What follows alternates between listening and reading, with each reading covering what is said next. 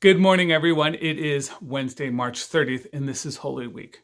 One of our traditions during Holy Week is to follow along with Jesus during the moments or the events of the last week of his life. We do this so that we can strengthen our connections to God, to understand the passion and the heart that God has, and how important it is for God to repair God's relationship with us. Today's reading in our devotion comes from Mark chapter 15, and it's from the time when Jesus was standing before Pilate. The chief priests had a consultation with the elders and scribes and the whole council. They bound Jesus and led him away and handed him over to Pilate. And Pilate asked him, Are you king of the Jews? Jesus answered him, You say so. Now at the festival, Pilate used uh, to used to release a prisoner from that from them, anyone from whom they asked. So the crowd came and began to ask Pilate to do for them according to his custom. To ponder. Jesus the Good Shepherd lays down his life for his people. Some live this calling literally, shedding their blood as martyrs.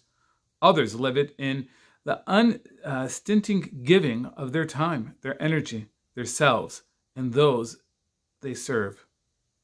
Joseph Bernardin from The Gift of Peace. Eye to eye. I'm not sure who looks more sad or weary as Jesus stands eye to eye with Pilate, the Roman governor. History tells us Pilate was a cruel and obstinate ruler, but here, carved in stone, we see something else. His eyes and mouth droop as if his duties have taken a terrible toll. Perhaps he is a world weary he is world weary from the wretched business of dispatching defiant and delusional souls to a bloody end, all to keep order and to an arrestive province.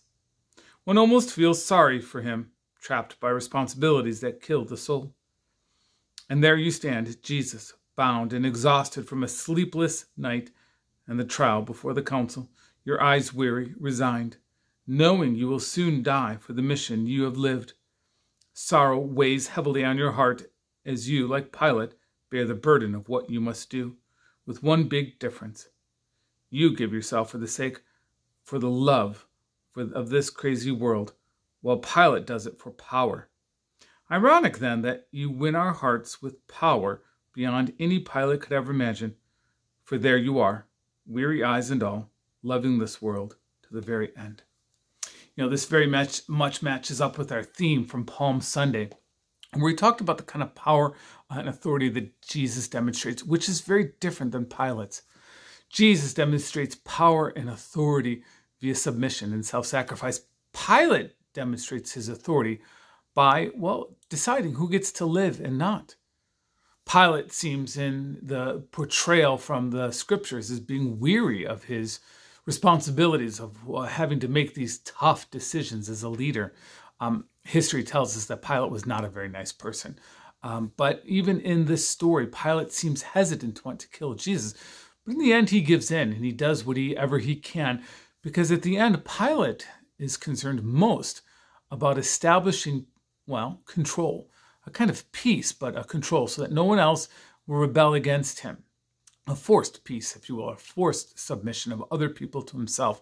Where Jesus, the only person he forces to submit is himself to others.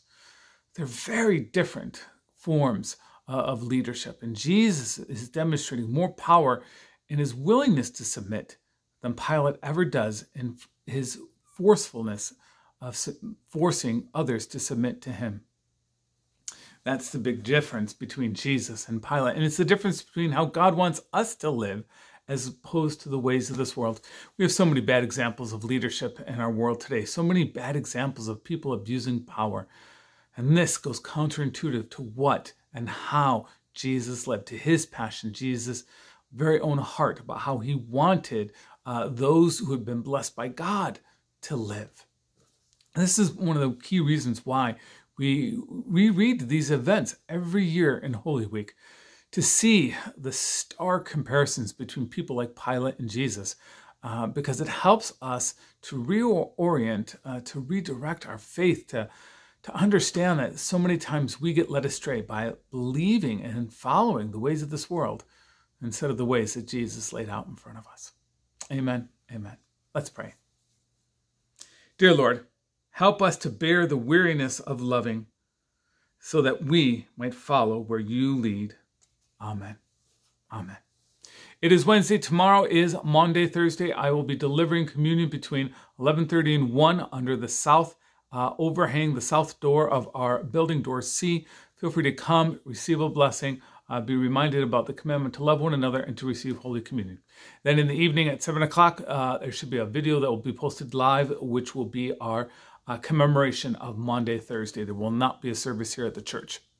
Then on Good Friday at 7 o'clock, we have a live service from the church that will be broadcast on YouTube with a link on Facebook.